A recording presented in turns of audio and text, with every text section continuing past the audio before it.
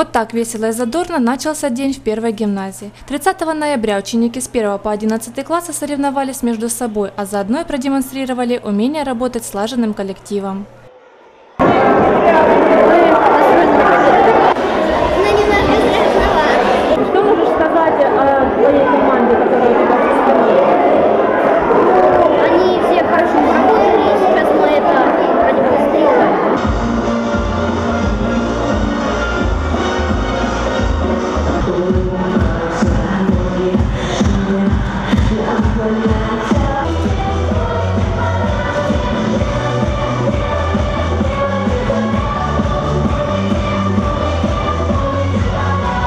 Конкурс «Физкульт минуток» и утренних зарядок, посвященный здоровому образу жизни в гимназии по праву можно назвать традиционным. Вот уже на протяжении многих лет педколлектив общеобразовательного учреждения проводит подобное мероприятие. Цель одна – привить юным краснолучанам любовь к спорту и активной жизнедеятельности.